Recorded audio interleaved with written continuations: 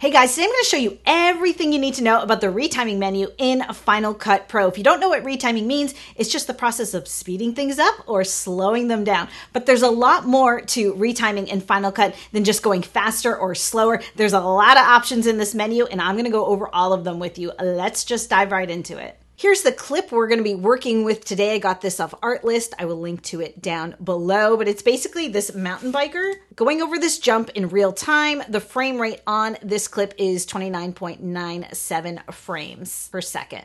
Let's start with the basics. The retiming menu can be found in the bottom left corner of the viewer, or you can find it up here in the menu under modify and then navigate down to retime and you have all the same options there. The first option is to slow your clip. Now you can slow it by 50%, 25%, or 10% increments. Now 50% means that your clip is going to double in length in your timeline. 25% means it's going to quadruple in length and so forth.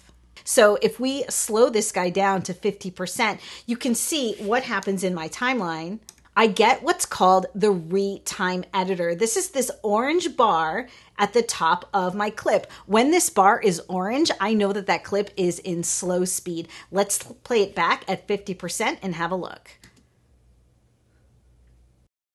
All right, selected on that clip, let's open that retime menu again. And the next option down is fast. Now, while the slow options were in percentages, the fast options are in multipliers. So we can speed this clip up double time, quadruple time, octuple time, and 20 time. I don't know what the right word is for that. Let's do four times. And when my clip is sped up, I get a blue header as my retime editor. And you can see that my clip is now much shorter in duration. All right, back in the retime menu, if we wanted to reset the speed on this clip, you can see that I can do that here in this menu, or I could just use the shortcut Shift N. And the color for a normal clip in the retime editor is green. The next option down is hold, the shortcut for which is Shift H. That's a really handy shortcut to remember. And what the hold function does is that it creates freeze frames in your clip wherever you have your playhead cued up. The hold frames are indicated by an orange bar at the top of the clip.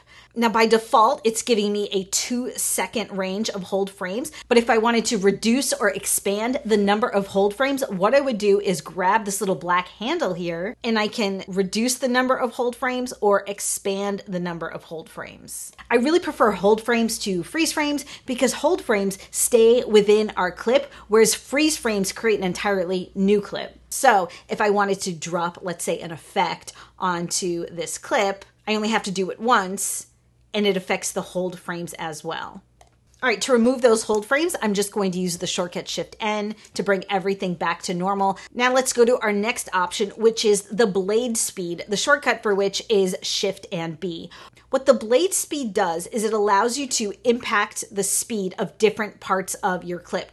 So how it works is you'd place your playhead wherever you want to change the speed and you would hit Shift and B to make a split in your retime editor. Do you see that here? I haven't yet changed the speed of any part of my clip. Everything's still normal, but I've made that little cut there without having to make a through edit. I'm going to make another cut right here by hitting Shift B once again. And now I can take this little handle and expand my clip. So our biker is going to go over the jump in slow motion and return back to regular speed. One other tip about using the blade speed function is let's say you had bladed the speed in a few places on your clip and you wanted to restore them back to normal, what you can do is jump to the range tool, select that section of the clip, and then hit the shift N shortcut to return the whole thing back to normal. That's how you can get rid of some of those blade cuts if you didn't want them there anymore. The next item on our list is custom speed, the shortcut for which is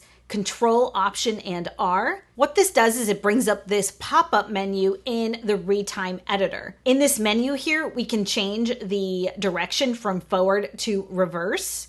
We can actually customize the speed based on percentages that are not options in the default slow or fast menus in the retime editor.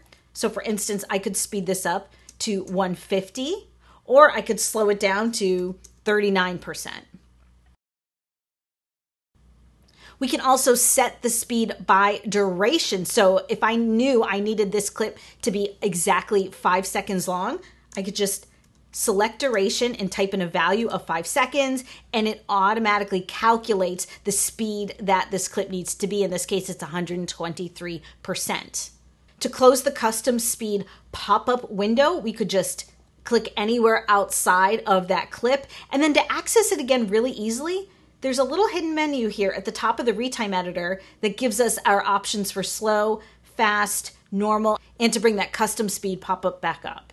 Before I jump to the next item in the retime menu, if you like this video, if you feel like you're learning something, give me a thumbs up, hit that subscribe button, and ring the bell. Let's move on to our next item, which is reverse clip. Now, we could reverse the clip in the custom speed menu, but you can also just do it right here in the retime menu. And this one's really self explanatory.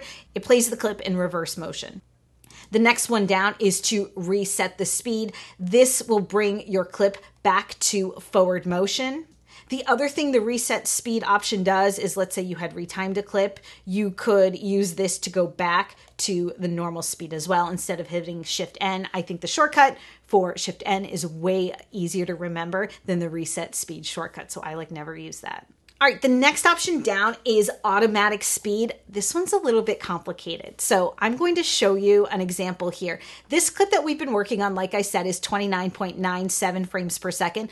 I'm going to open a new project that is a 60 frame per second project, and I'm going to drop that same clip onto it.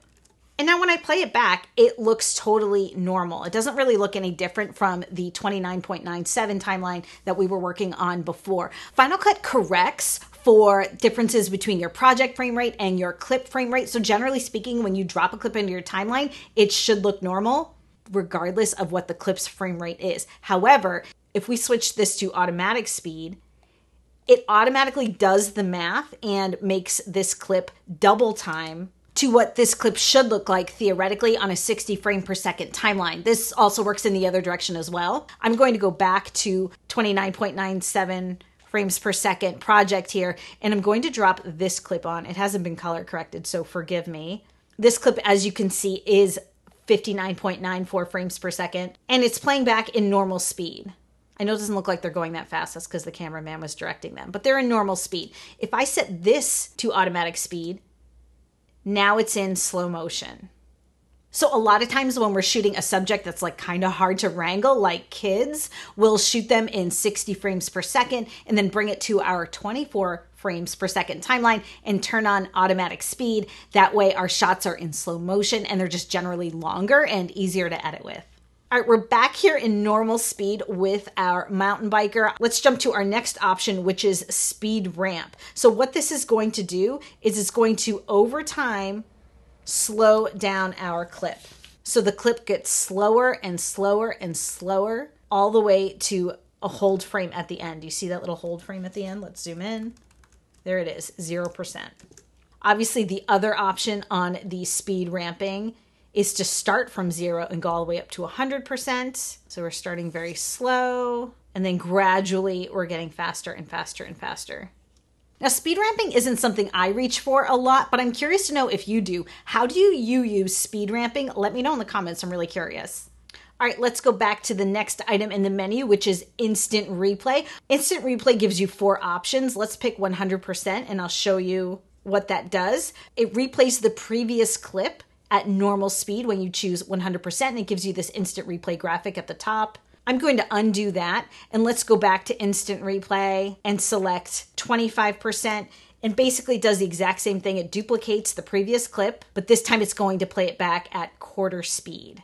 The next option is the rewind option. Let's select the one time multiplier. And basically, what this does is it's going to play the entire clip forward and then it's going to rewind it backward at a normal speed and then replay it again going forward if we select the rewind option and select four times, that rewind portion is going to be much faster. One little tip I would give you for using the rewind option is that you can create a through edit. That's when you just use the shortcut Command B to split a single clip into two pieces. So I'm going to do that right before this guy gets on the jump. And then I'm going to use the rewind function Let's do it at the two times multiplier. And what happens here is that now my clip won't rewind all the way back to the beginning. It'll just rewind to before the jump where the action happens. The next option down is jump cut at markers. So what I've done is just dropped some markers you can see here on my clip. I'm going to head over to the retiming menu and I'm going to select jump cut at markers and let's just select 20 frames. What this is going to do is cut 20 frames out of my clip at each marker. I love this feature, especially for longer clips, because you can lay a music track underneath, add markers to all of the beats, and then make the clip jump at each music beat. It's such a great effect. The next menu option here is one you really need to know about. It is video quality. So the first thing I'm going to do is slow this clip way down to 25% speed. And you can see what happens here. The clip looks really jittery. Back in the old days, I used to tell clients I cannot slow a clip down. I can only speed it up because it's not going to look great. However, now we can make this very slowed down clip look good. Let me show you how. Under the video quality option, we're set to normal, but there's a couple of other options here. I'm going to start with this bottom one, optical flow, because I do think this is the better option. When you select optical flow, Final Cut will analyze your clip and make the playback so incredibly smooth. Sometimes, though, you can get some distortion with optical flow, and we can definitely see that as our mountain biker gets closer to the camera. So, if that was a problem that you are encountering, you could try the other option instead of optical flow. Let's go to frame blending. And so, we're still getting a little bit of a stuttery look I personally like to reach for optical flow over frame blending. I find that I usually get a better result with optical flow. For the next option we're going to talk about in the retime menu, I'm actually going to go back to the blade speed function. So I'm going to cue up my playhead back up to right before we launch off the jump. I'm going to hit Shift B as my shortcut for blade speed, and we'll do it again right as he's in midair. Now, the option we're going to be looking at is this one here, speed transitions. Last time I showed you the blade speed tool, I had speed transitions disabled, but generally you might want them on. So basically what the speed transitions enablement does is it allows you to grab these black handles in your retime editor and you'll see now that you're getting these like gray boxes these transitions between one speed and the next what this does is that it makes the change in speed in your clip more gradual so it's not such an abrupt change. Now there are times that I do want that abrupt change like let's say I'm retiming to the beat of music and I want it to feel more dramatic, but usually I just want it to feel a lot more subtle. And the last option in the retime menu is a pretty important one to know and that is to hide the retime bar. Once you've made all of your speed changes, you probably don't want to look at this thing anymore. So all you have to do is select your clip and hit Command R to hide the retime editor. If you want to see it again, it's the same shortcut, Command R. So that's everything you need to know about the retiming menu in Final Cut Pro. Which one do you reach for the most? Which one didn't you even know about that you learned about today? Let me know down in the comments, you guys. Thank you so much for hanging out with me. I got some other videos for you, and I'll see you again.